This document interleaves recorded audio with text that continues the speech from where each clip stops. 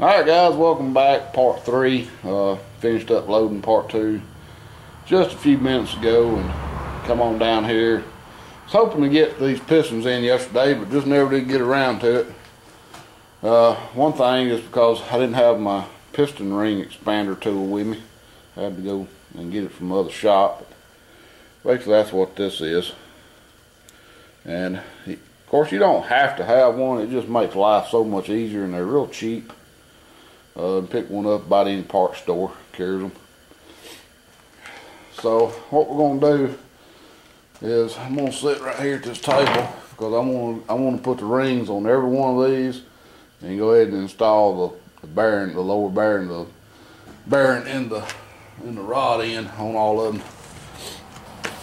Like I said yesterday, we're using Hastings. The guy at the uh, machine shop uh, that did this engine, he uh, he used to use Sealed Power rings and he noticed that they, they, they got thinner. And he had called up Sealed Power and they said it wouldn't hurt nothing but the problem is if you look at a Sealed Power ring compared to this ring you can see how wide this ring is. The Sealed Power ring is about two-thirds as wide so it don't seal up the groove all the way. When you get your rings, you're going to look in the box here and it's going to tell you top groove, third uh, second groove, third groove. So that's how you're going to know which one's which. Now these are moly ring, which means the top ring has a layer of moly. I'm hoping that you can see. That's the See how much shinier the top ring is? That's the one on the top there compared to the cast ring on the bottom.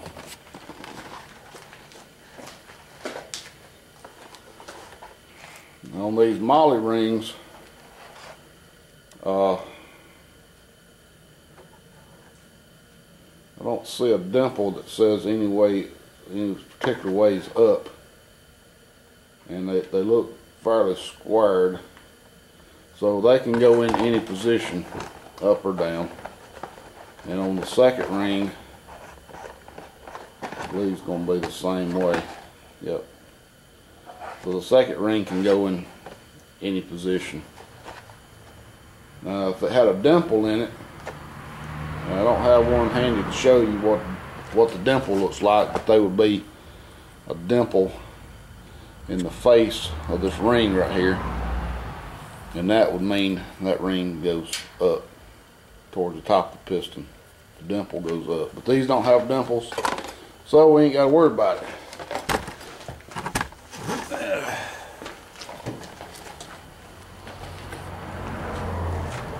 So I'm going to show you how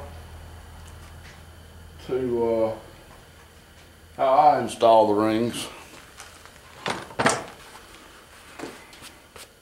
You may install them either you know a different way. This is the way I learned to do it and I'm gonna have to clean put a little table a little cleaner. It's pretty dirty and it's unlevel too so that ain't gonna help much matters. But I'm gonna find the number one piston. Should be this one. And these are uh, I believe Sealed Power pistons they have a coating on them. Hope y'all can see. This coating on the side of the skirt.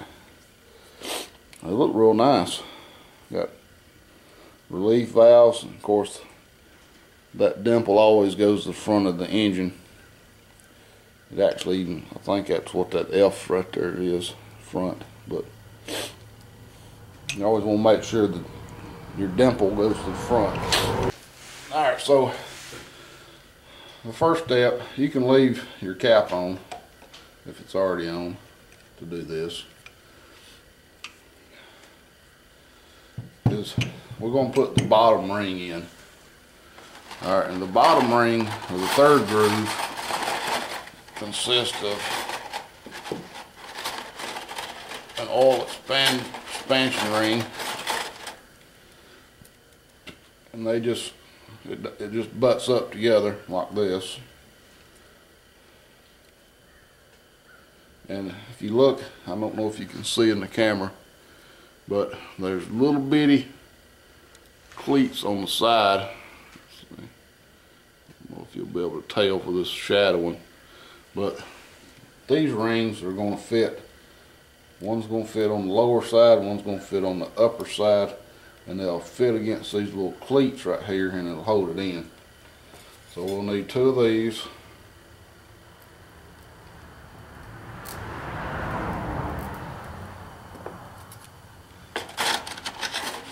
And be careful with these rings here because they will uh, distort real easy on you.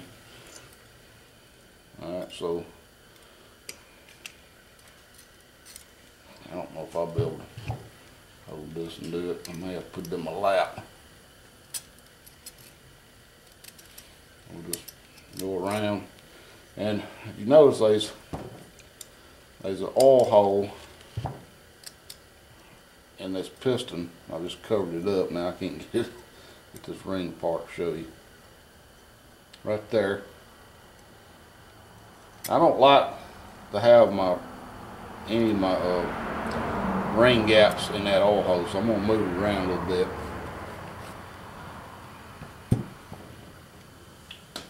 Now, we'll take one of the bottom, one of the little thin rings, and we'll work it around.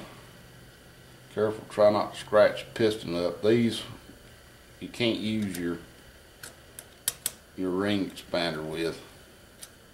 They're just too too thin. We'll put it in a groove here. And that's seated. I did scratch up the piston a little bit, that ain't gonna hurt nothing. Alright, now I want the other one to be a little, I, I like it to be a little further away. Or even 90 degrees from the other one.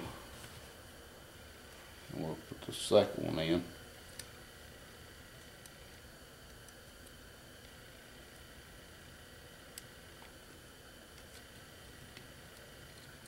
It helps to have fairly long fingernails. You can use your fingernails as as uh, guides. Now we got the second one in, and now you want to make sure that that whole assembly will move in the groove. move in the groove there, and it will. So that's in. Now we're ready for our second groove, which is a cast ring. Nope, they, well, this one does have a dimple. Oh, you can see. There's kind of a shadow right here where this camera's at. My finger is on that dimple. Anyway, you can probably see it better right here.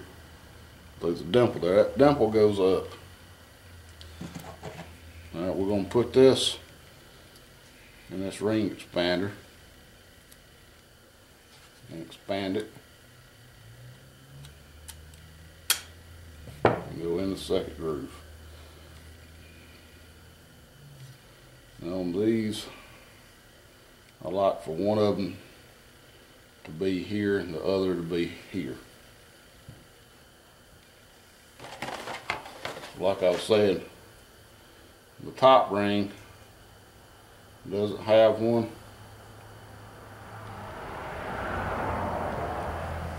So it can go in any position.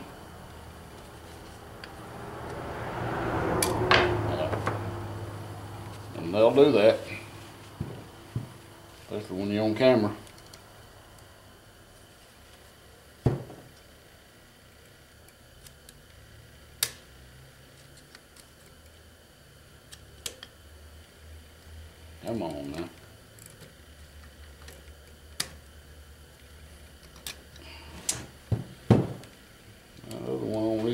These moly rings are a little bit more difficult, I guess.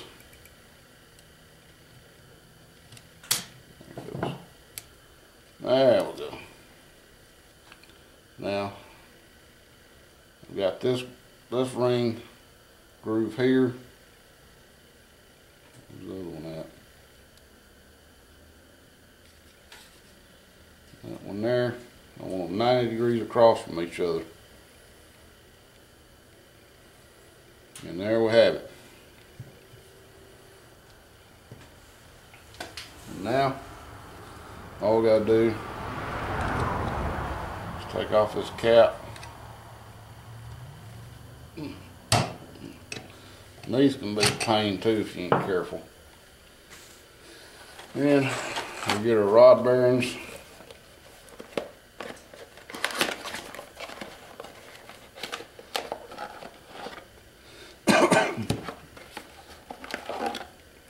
These rod bearings, neither one of them has an oil groove, so either one of them will work.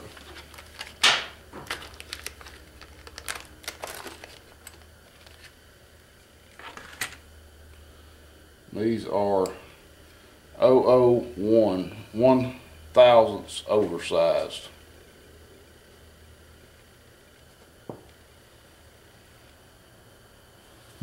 And we'll put, line the groove up in the, in the bottom.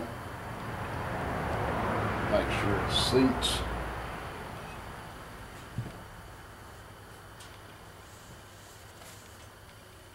Line the groove up in the top.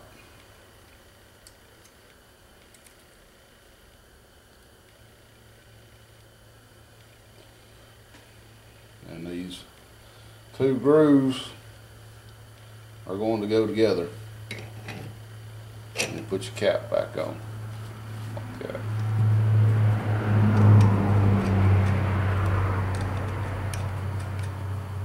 Now, before I install it, I'll put some uh, break-in lube on it.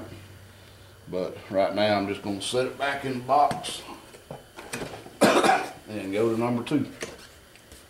So when I get all these done, I'll show you how it goes together in the, in the engine.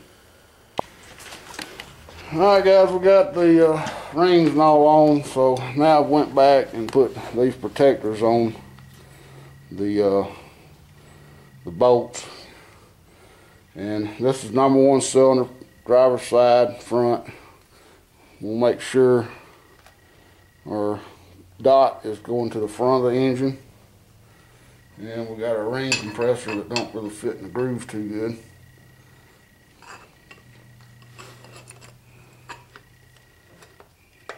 I'm hoping it's the right one. I've never used this style compressor before. I may never use it again. Unless I'm going the wrong way with it. I don't know. Let's see what we got here. I just don't believe this is the right. Well, I don't know. I think it will compress. Okay, there it is. Yeah, that's a little better. Uh, stepson Jacob's here and he's gonna help guide this rod onto the journal and I'm gonna get me a little hammer. And Jacob, you just kind of get the camera where you can see everything. And so it helps to have somebody here. And all you're gonna do is when you when you see it come down, is just guide it straight onto the journal there.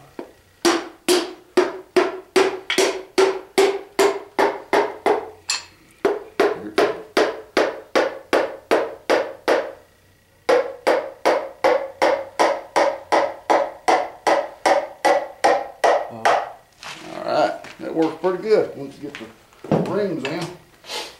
And we'll take our bearing cap, put some more single lube on it.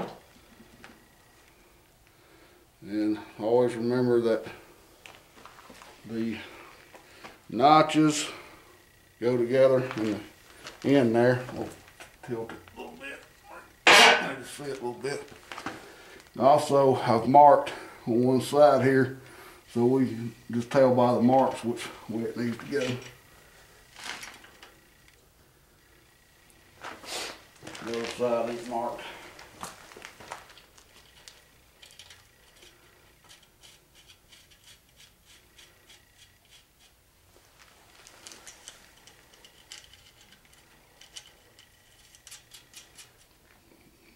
And then we'll flip it around and do number two cylinder.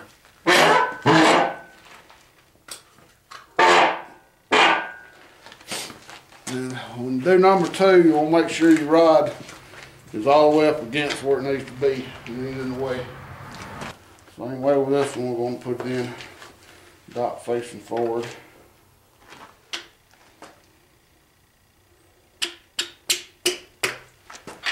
Hammer handle. Always want to try to use the wood. Am I coming in straight? Yeah, but it ain't gonna fit on it. There's the wheel. Yeah, yeah. Grab it and As far as it goes right there. yeah, it'll come back now.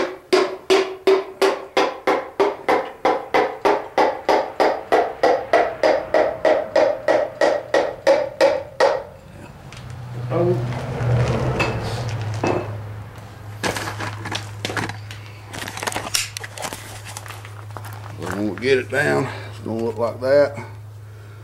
Put your cap on and what I usually do is do one and two, three, four, five, six, seven, eight.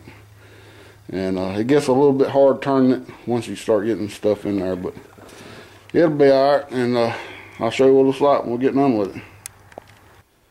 Alright guys, we got them all in and uh, one thing I failed to mention earlier was you want to make sure these walls are really lubricated so I went back and poured oil around them and on these that I hadn't put anything in I just took oil put my hand just wiped wiped the walls good. You can see it's all over the, the head here of the block that have to be cleaned off. But i gonna make sure you got plenty of oil in these cylinders because we're gonna be moving these pistons up and down.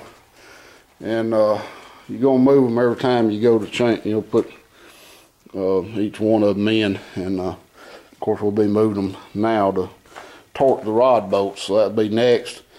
Uh, so let me get set up and I'll show you how that goes. All right the way it is right now we can torque this set and maybe this set then we'll turn it and torque these other two. So maybe may end up having to turn it, but I've got my torque wrench set to 45 foot